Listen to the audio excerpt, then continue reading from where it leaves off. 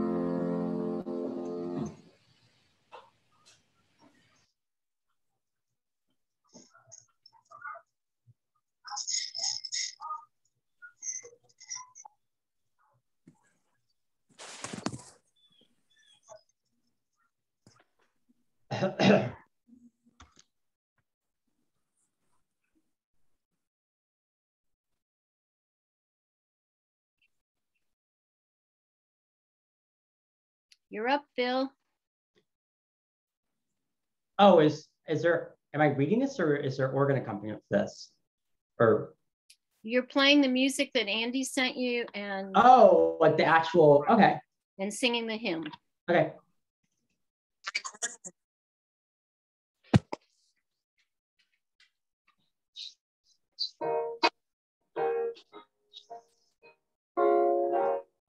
Is there an intro verse, Andy, or like um, when we're physically present, or should I start with the uh, first verse?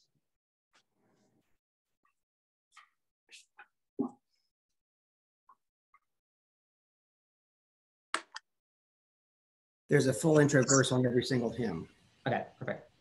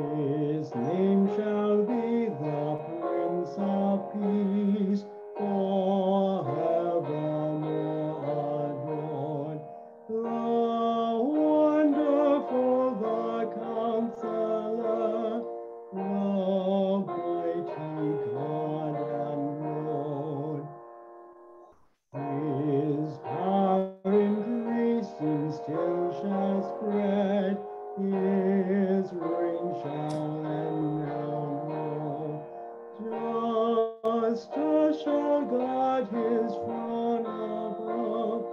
and peace abounding.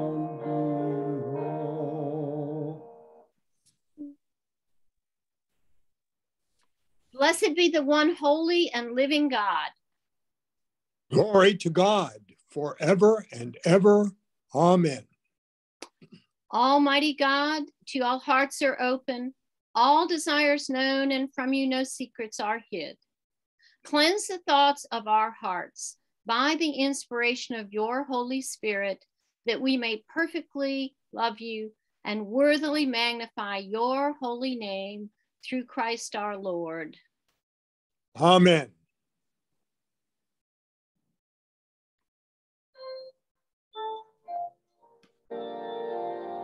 Glory to God in the highest, and peace to his people on earth. Lord God, heavenly King, Almighty God and Father, we worship you, we give you thanks, we praise you for your glory. Lord Jesus Christ, only Son of the Father,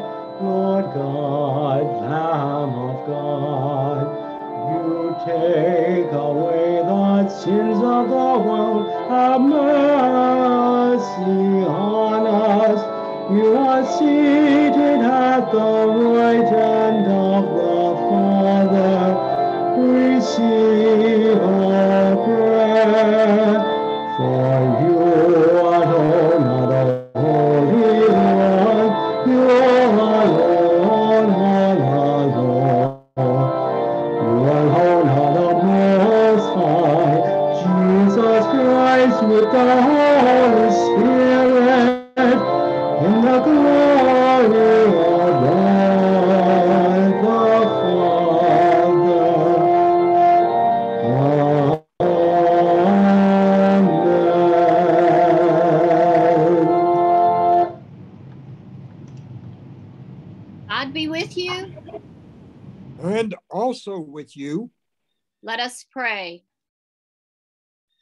Almighty God, whose Son, our Savior Jesus Christ, is the light of the world, grant that your people, illumined by your word and sacraments, may shine with the radiance of Christ's glory, that he may be known, worshiped, and obeyed to the ends of the earth through Jesus Christ our Lord, who with you in the Holy Spirit lives and reigns, one God, now and forever. Amen. A reading from the book of Isaiah. For Zion's sake, I will not keep silent, and for Jerusalem's sake, I will not rest until her vindication shines out like the dawn, and her salvation like a burning torch. The nations shall see your vindication, and all the kings your glory. And you shall be called by a new name that the mouth of the Lord will give. You shall be a crown of beauty in the hand of the Lord, and a royal diadem in the hand of your God. You shall no more be termed forsaken, and your land shall no more be termed desolate. But you shall be called, My delight is in her, and your land married. For the Lord delights in you, and your land shall be married. For as a young man marries a young woman, so shall your builder marry you. And as the bridegroom rejoices over the bride, so shall your God rejoice over you. Hear what the Spirit is saying to God's people. Thanks be to God. Psalm 36, verses 5 through 10.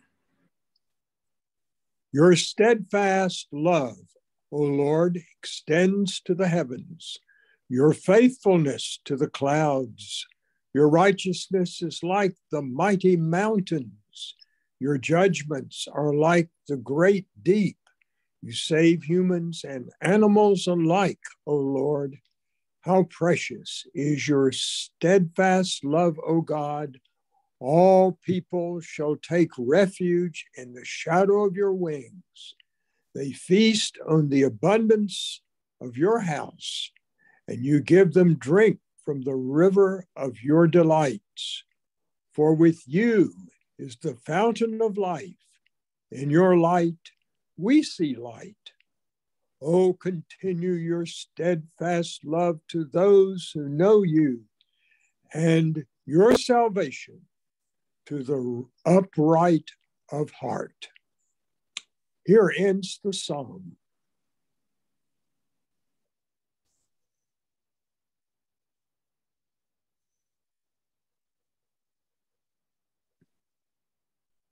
A reading from the book of First Corinthians.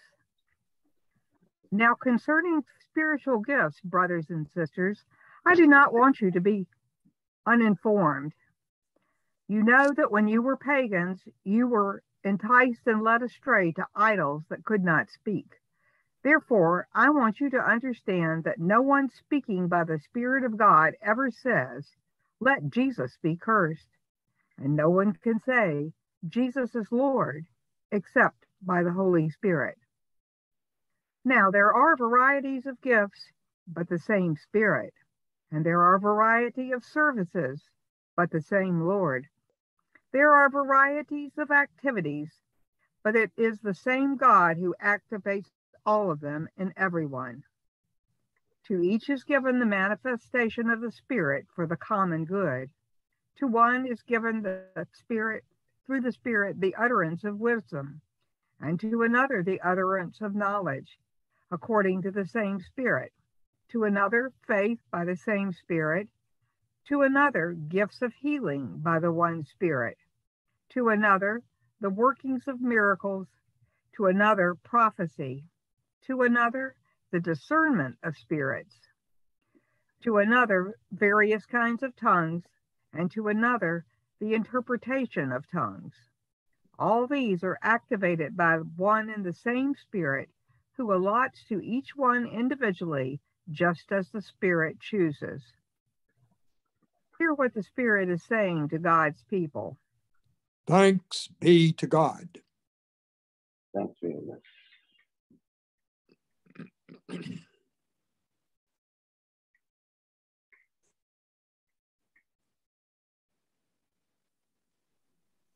much.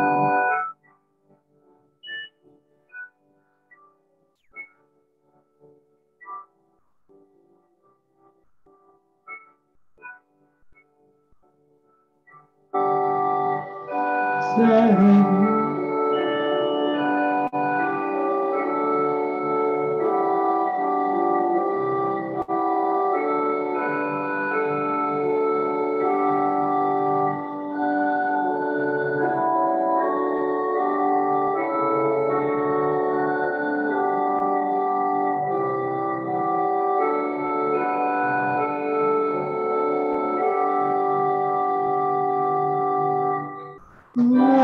Jesus,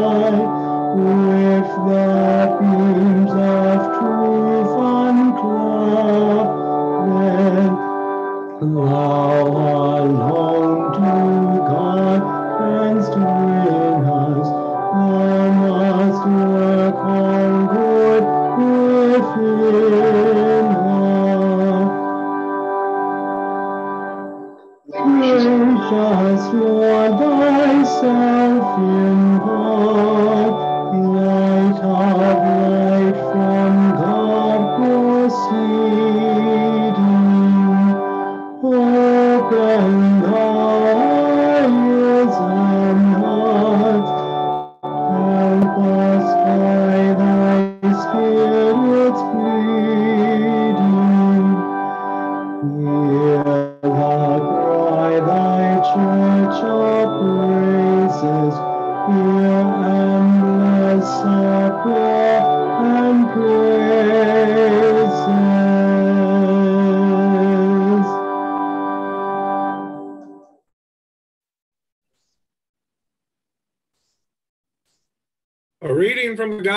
according to John. On the third day, there was a wedding in Cana of Galilee, and the mother of Jesus was there. Jesus and his disciples had also been invited to the wedding. When the wine gave out, the mother of Jesus said to him, They have no wine. And Jesus said to her, Woman, what concern is that to you and to me? My hour has not yet come. His mother said to the servants, Do whatever he tells you.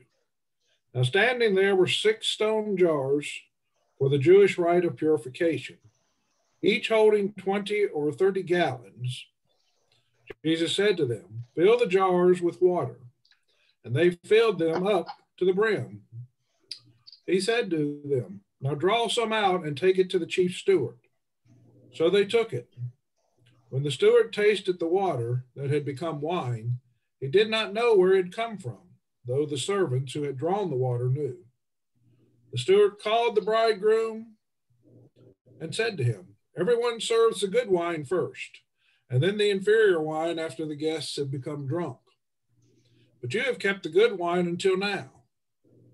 Jesus did this, the first of his signs in Cana of Galilee, and revealed his glory, and his disciples believed in him. Hear what the Spirit is saying to God's people. Thanks be to God. Thanks be to God. Law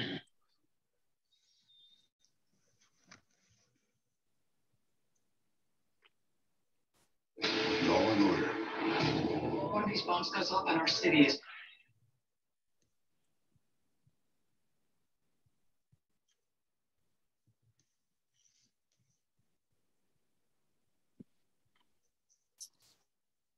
Not Eden's gate, but freedom lures us down a trail of skulls where men forever crush the dreamers, never the dream, writes the Reverend Pauli Murray in her book, Dark Testament. As our nation approaches the day that we honor the legacy of Dr. Martin Luther King Jr., his dream of racial equality, economic justice, and freedom for all people seems like a national daydream and political slumbering. Yet we pause to ponder the vision of Dr. King, how far we have come, how far we still have to go. What will it take to allow God's abundance to be transformed to God's abundance to transform our attitudes, our actions, and our wills. While the vision and mission of Dr. King has become simultaneous with the civil rights movement, let us not forget the women, the matriarchs, the foremothers, and the activists who were cooking with grease long before King jumped into the civil rights frying pan. Countless women marched. They opened their homes as headquarters for meetings and for strategy sessions. They walked the talk of the protest path. So here's a roll call of some of the women from various educational, social, geographic, and sexual backgrounds who were pivotal in setting the civil rights movement stage for Dr. King. Let us honor and remember Ella Baker, Ruby Bridges, Claudette Colvin, Edna Griffin, Fannie Lou Hamer, Mahalia Jackson, Coretta Scott King, Pauli Murray, Ruby Sales, Mary Louise Smith, and Ida B. Wells, to name just a few of the women who distributed flyers, organized, sang, marched, prayed, planned, and provided shelter, whose names may never be recorded in a full telling of our civil rights history. Sexism does not play fair, nor desire to follow the rules of equality and transparency. However, we are here today because of the sacrifices of dedicated women of vision and action who largely remain invisible in our history. But we can remember and honor the women behind the man, those who were part of changing history. And there were also women behind the man Jesus. In the year of our Lord 33, Jesus was invited to a wedding in the small village of Cana. As John describes in his gospel, the word of God told to us in the story of the wedding at Cana comes as an epiphany, a manifestation, a showing off to the world of who Jesus is and what he is about. It is also a word of grace to us who live in a world of diminishing economic, social, racial, and gender equality. 1,989 years ago, history was changed by the Jesus event of the miracle of water being changed into wine. An ancient legend says that Mary was the aunt of the bride and might have been the person responsible for the wedding at Cana which would certainly explain her desire to have everything be just right. When the wine runs out at the wedding, Mary approaches Jesus and tells him of the situation. Jesus tries to say that this is really none of his concern, and he has another plan for revealing who he is. Mary seems to ignore that comment and assumes Jesus is going to be a good Jewish boy and listen to his mother. And eventually he does. now, no one would have died of thirst if Jesus had not acted in Cana, but there is no doubt that people would have suffered. In the culture of that day, running out of wine was at a wedding was not a social, a minor social inconvenience. It was a major breach of the demands of hospitality it would have been a disgrace and it would have been devastating for the couple. Everywhere that they went for the rest of their married life, they would be known, ridiculed, and talked about. The shame of the lack of hospitality would have marked the bride and groom, and the whole family's reputation would have been tainted by the memory of empty glasses too early in the party. When Jesus realized the shame that could have overshadowed this young couple's new life together, he had a decision to make.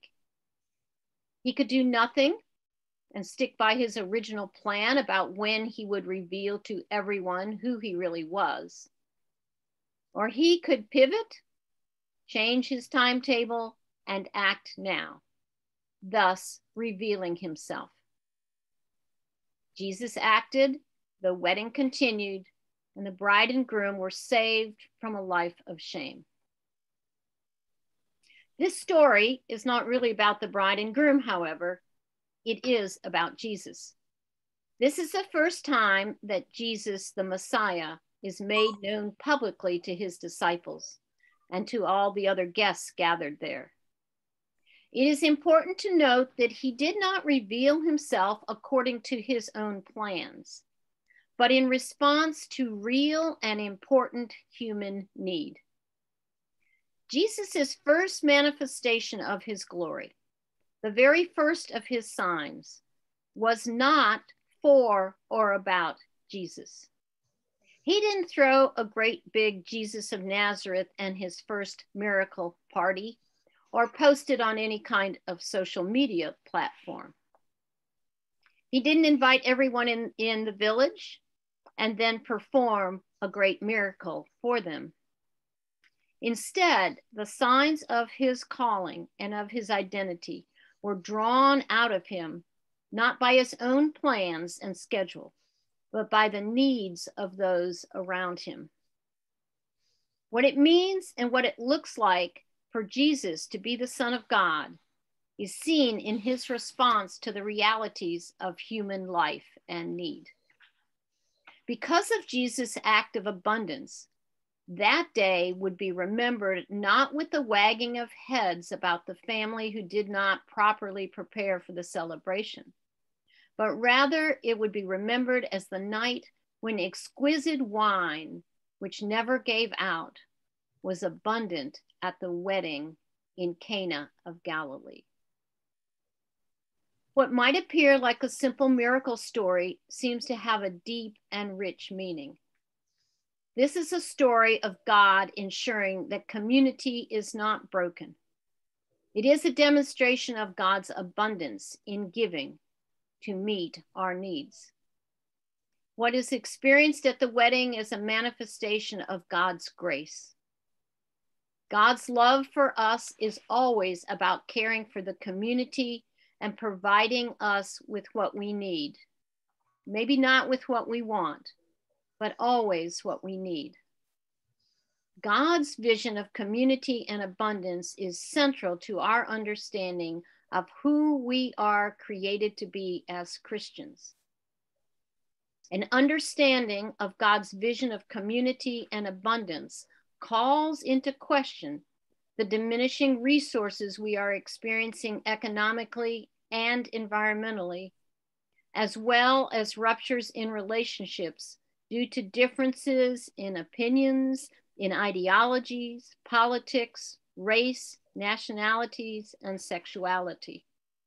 The bottom line is that there is enough to go around, enough goodwill, enough civility, money, food, homes, habitats, clean water, medical care. There is enough for all to share equally if we under, understand ourselves as being created in community with other humans and all other species. In a society deeply rooted in individualism, this is a hard sell and we do not seem to be making significant progress in creating decisions for the greater common good in our own day and time. In the epistle lesson from the Corinthians this morning, Paul is speaking to the Christians in Corinth of the first century. He is observing some behavior among them that is very selfish, petty, and sometimes evil. At the center of it, as is so often true when religion goes bad, there was a strong sense of who is best and a strong sense of mine. They were having a variety of different spiritual experiences and encounters with God, which in themselves were probably just fine. But the people of Corinth were getting possessive and competitive about all of that. They were saying things like, This gift is mine. This way of doing things is mine. This spirituality is mine. What Paul says to them is what Jesus discovered when the wine gave out. What Paul says to them is what you have is not for you. What you have is for others. To each is given the manifestation of the Spirit for the common good. This is a fundamental truth about the nature and purpose of God then and now. What you have is not for you. What you have is not even about you. Not really. The folks in Corinth could never get their religion right indeed get their lives right until they realized that what they had was not for them or about them.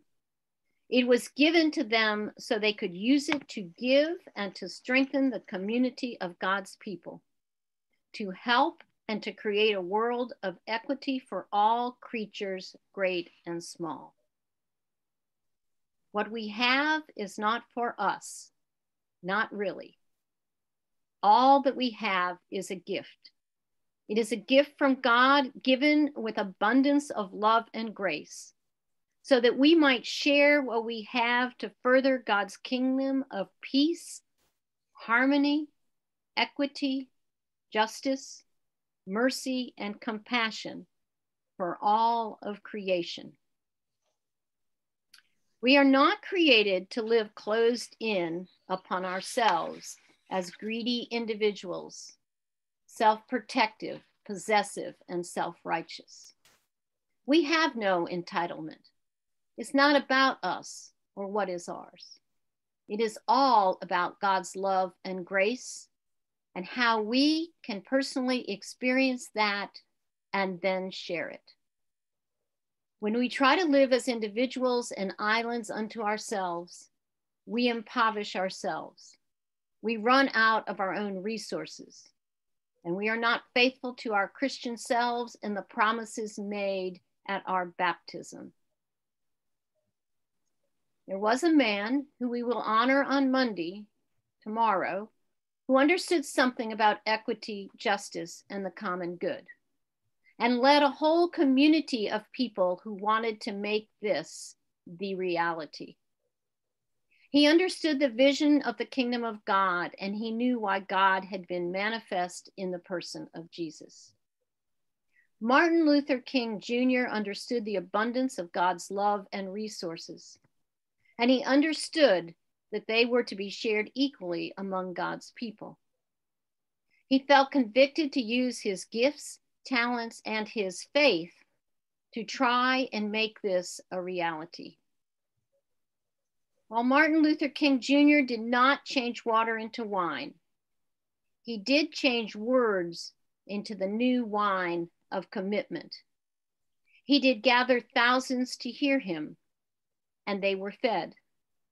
He did raise those whose lives were decaying in death, the garbage collectors. He did proclaim to the educated Nicodemuses of America that they needed to be born again in mind and spirit. He did stand on the shoulders of many grassroots activists, both women and men, who spread the gospel of civil rights for all. He did raise up the dead daughters of Birmingham, speaking of them in an unforgettable letter to the white clergy from the tomb of his jail cell in that city. He did lift up to us a cup of everlasting life that we can drink from even today. In his own way, Dr. King sought to turn shame and oppression into equity and justice, to return our society to the community that God created it to be a place of peace, mercy, and justice for all. May we use our God given gifts and talents to reveal the living Christ, to share the abundance of God's grace and love and act to bring equity and justice to the whole community of God's people and all of creation, so that the history of our country might be changed through our actions. Amen. Amen.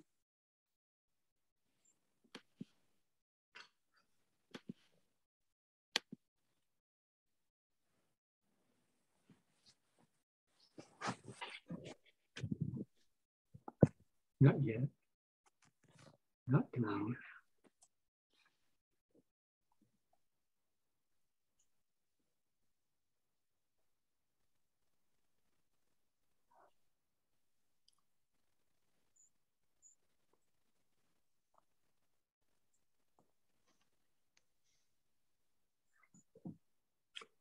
The Nicene Creed. We believe in one God the Father, the Almighty, maker of heaven and earth, of all that is seen and unseen. We believe in one Lord, Jesus Christ, the only Son of God, eternally begotten of the Father, God from God, light from light, true God from true God, begotten, not made, of one being with the Father. Through him all things were made For us and for our salvation, he came down from heaven. By the power of the Holy Spirit, he became incarnate from the Virgin Mary and was made man. For our sake, he was crucified under Pontius Pilate. He suffered death and was buried. On the third day, he rose again in accordance with the scriptures. He ascended into heaven and is seated at the right hand of the Father. He will come again in glory to judge the living and the dead, and his kingdom will have no end. We believe in the Holy Spirit, the Lord, the giver of life, who proceeds from the Father and the Son.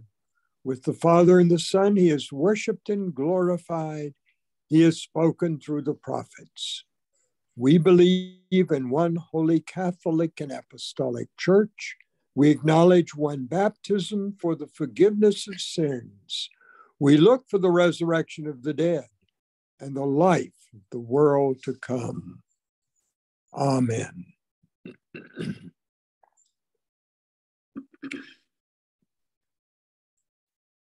As God's chosen and priestly people, let us pray for the needs of the church and the world, saying, O gracious Lord, hear our prayer.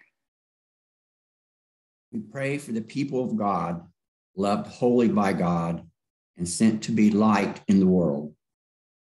O gracious Lord, hear our prayer. For leaders of nations and for those who serve us in governments, that all people may work for peace and justice.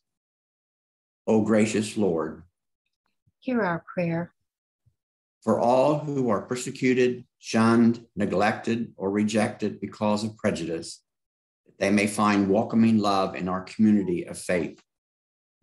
O gracious Lord, hear our prayer. For all married couples and their families, that they may share the joy and love of God for all. O gracious Lord, hear our prayer. For all members of the church community, that we may recognize the gifts we have received from the Spirit and use them freely for the good of all. O gracious Lord, hear our prayer. For all members of the church community, including the sick, especially John, the dying, the deceased, especially Pauline and Greg, and those who mourn. O gracious Lord, hear our prayer. Holy God, lover of the human family and helper of all in need, hear the prayers we offer in faith and strengthen us in your love. We ask this through Christ our Lord. Amen. Let us confess our sins to God. God of all mercy, we confess that we have sinned against you, opposing your will in our lives. We've denied your goodness in each other, in ourselves, and in the world you have created. We repent of the evil that enslaves us, the evil we have done, and the evil done on our behalf. Forgive, restore, and strengthen us through our Savior Jesus Christ, that we may abide in your love and serve only your will. Amen.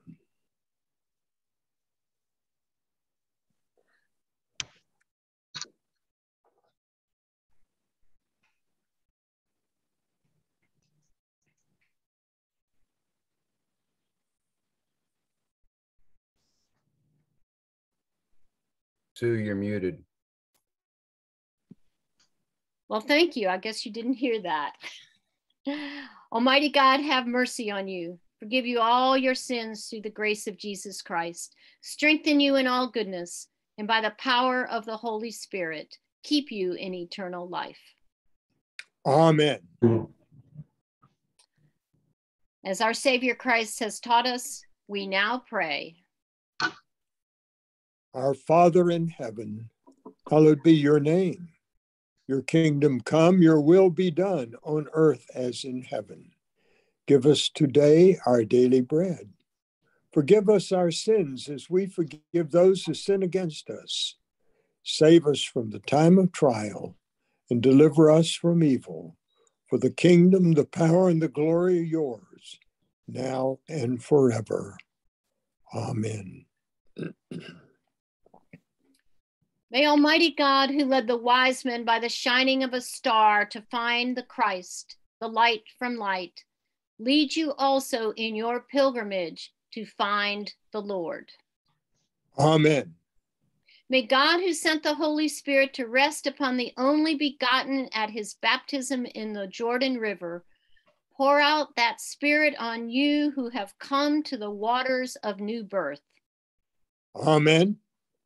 May God, by the power that turned water into wine at the wedding feast at Cana, transform your lives and make glad your hearts. Amen. And the blessing of God Almighty, the Father, the Son, and the Holy Spirit be upon you and remain with you forever. Amen.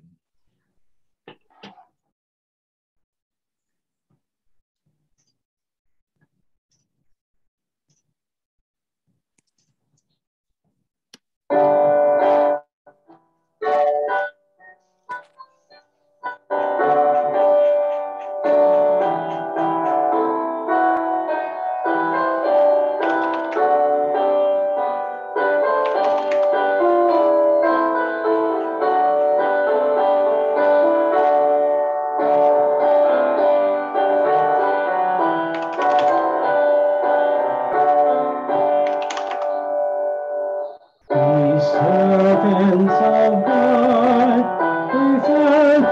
proclaim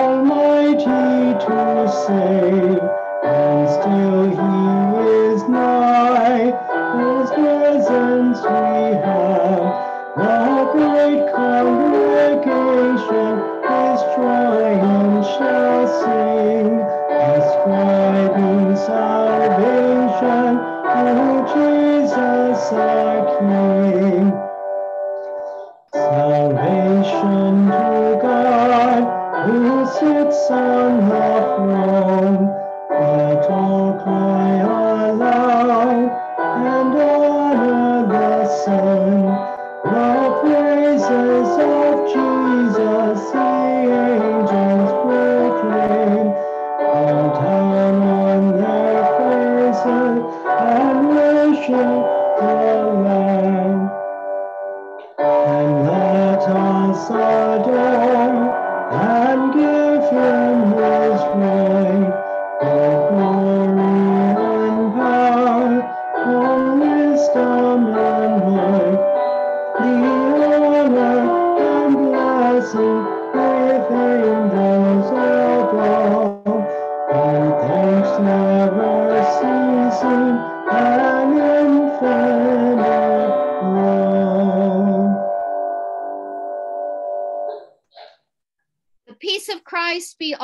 with you. And also with you. And this concludes our service this morning. Just want to remind you that our liturgy comes from uh, the, the supplemental material of the Episcopal Church enriching our worship, and the prayers of the people were from intercessions for the Christian people. So thank you all for being with us this morning. And we will be moving into our coffee hour time. So you are welcome to unmute and participate in that as you have time and are able.